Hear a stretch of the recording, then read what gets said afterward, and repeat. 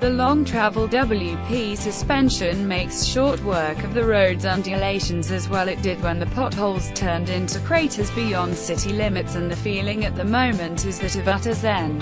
As if I'd consumed a copious helping of chamomile tea, as Pink Floyd play me, echoes on a slow weekend afternoon while I romance an armchair. The Tiger XCA, then, appears to be taking care of anything that could get in the way of this mood, before it does. Rover of yore, and the stance, that of a tall insect, a mantos reckon. The bug-eyed face is supplemented with LED auxiliary lamps on either side encased in military-grade aluminium covers for protection, as well as shrouds around the 43mm upside-down forks.